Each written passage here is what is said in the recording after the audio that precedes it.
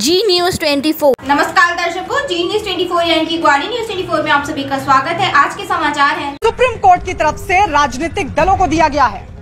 कारण है कि वो दागी को टिकट दे रही है किसी एक गैर दागी आदमी को टिकट नहीं दे रही है। इसके अलावा सुप्रीम कोर्ट ने यह भी कहा है ये पूरा का पूरा जो हमारा ऑर्डर है इसके कंप्लायंस कराना इलेक्शन कमीशन की ज़िम्मेदारी है।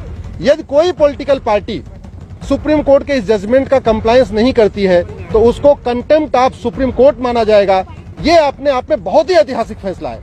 आज तक ये ऐसा कभी नहीं हुआ।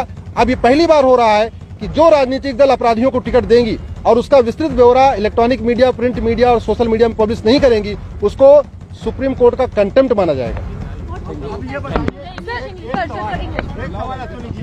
क्या ये ब्यौरा सिर्फ़ अपराधियों के लिए या सारे कैंडिडेट सारे कैंडिडेट आपको अगर आ, आपको हर एक कैंडिडेट के बारे में बताना पड़ेगा अगर आप त, अगर पॉलिटिकल पार्टी का कोई कैंडिडेट ऐसा जिसके जिसके खिलाफ कोई एफआईआर नहीं है कोई दाग नहीं है कोई उसके खिलाफ कोई अपराध नहीं है तो सिम, सिंपल एक लाइन लिख देना है कि हाँ उसके खिलाफ कोई अपराध नहीं है।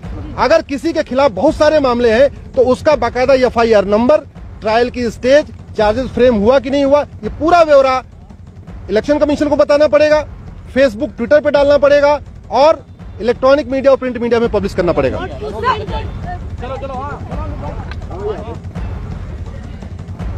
तो ये बड़ा आदेश सुप्रीम कोर्ट की तरफ़ से, यानी जितने भी उम्मीदवार को टिकट दिया जाए, जो भी राजनेता उम्मीदवार बनाए जा रहे हैं, उनका पूरी डिटेल, उनका पूरा रिकॉर्ड सोशल मीडिया पर, ट्विटर के ज़रिए, फेसबुक के ज़रिए अखबारों को दिया जाएगा। इलेक्ट्रॉनिक मीडिया को दिया जाएगा। इस तरह का आदेश सुप्रीम कोर्ट की तरफ़ से सभी राजनीतिक दलों को दिया गया है। यानी कि जो उम्मीदवार जिन पर आपराधिक केस है, आपराधिक मामले दर्ज हैं, उसकी पूरी डिटेल भी देनी होगी। और साथ ही सुप्रीम कोर्ट ने यह भी कहा है कि वजह भी बतानी होगी। अगर कोई राजनेता जिसे उम्मीदवार बनाया गया है, अब उसके खिलाफ जो भी केस है, उसको देखते हुए आखिर टिकट क्यों दिया गया है? ये वजह भी बाकायदा बतानी होगी। तो ये बड़ा आदेश राजनीति के अपराधीकरण पर सुप्रीम कोर्ट की तरफ़ से सभी राजनीतिक दलों को।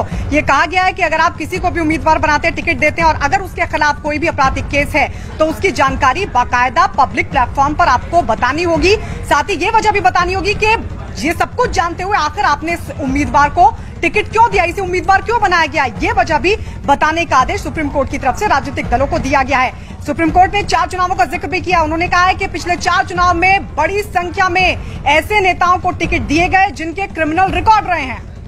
आज के समाचार में बस इतना ही। फिर मिलेंगे तब तक के लिए नमस्कार।